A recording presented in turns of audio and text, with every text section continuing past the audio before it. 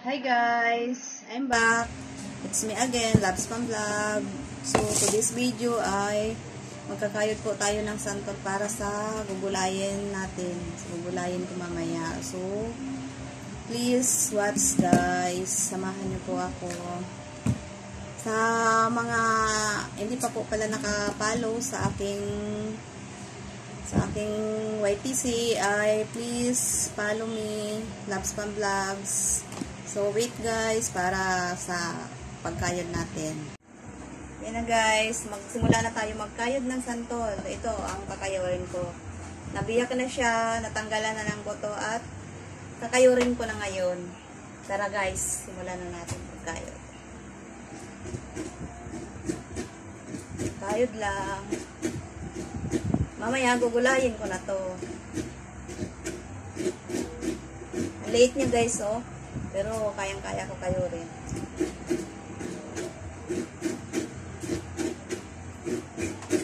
Kayod-kayod. Para may magulay.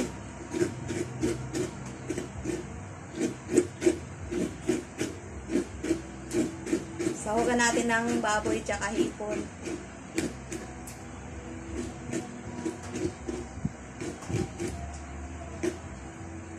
Dapat na ba?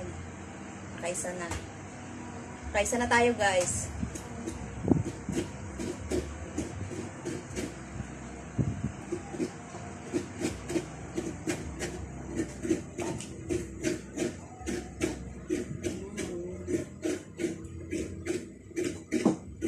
Kayod.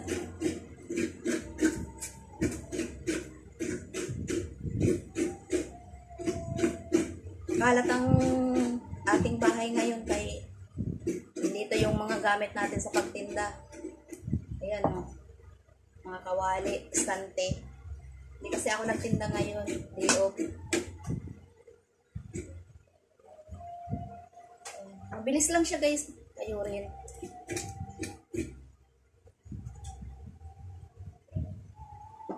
Madali lang siya.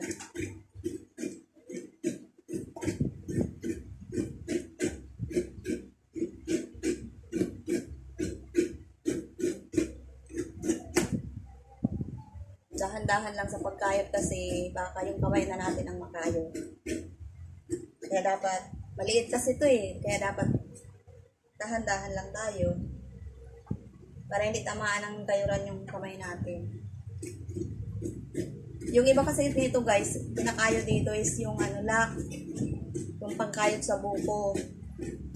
Kaya ako mas nasanay ako sa ganito. Pinakayod sa ganito.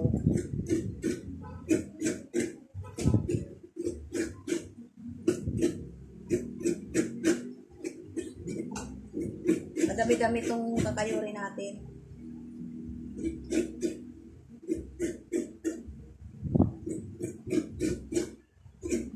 Hindi ko naman to lahat gugulayin. Yung iba nito, buburuhin ko, lalagyan ko ng asin para pag gusto ko uli magulay, gugulayin na.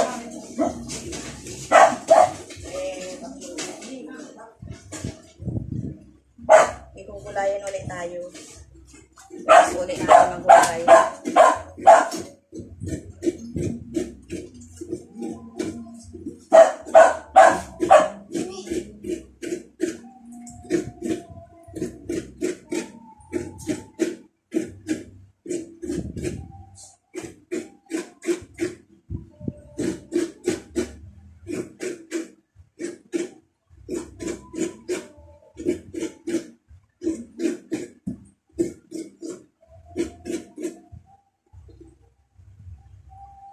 Yun, guys.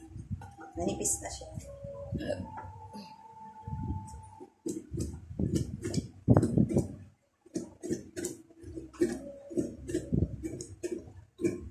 Kayod lang, kayod.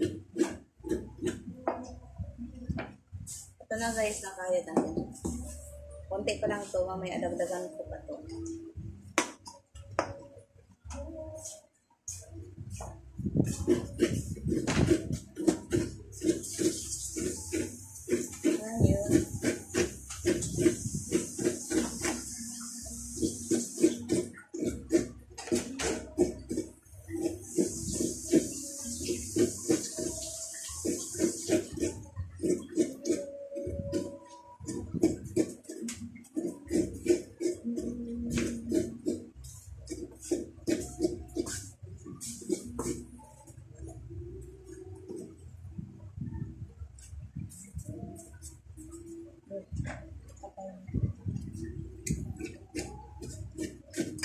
Thanks for watching guys. Tutuloy ko pa rin to. Thanks for watching. Madami-dami kasi to eh.